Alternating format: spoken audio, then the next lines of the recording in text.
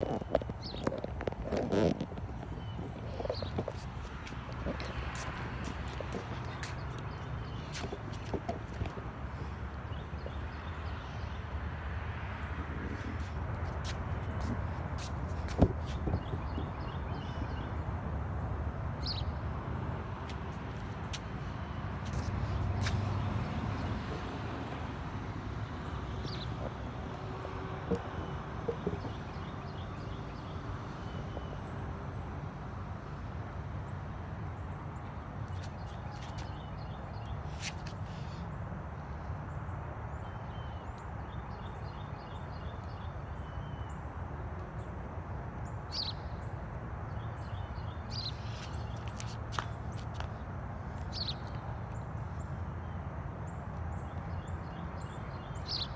Great God Day family, top of the morning to you. Wanted to come and encourage you as we do daily at the beginning of our day out the door.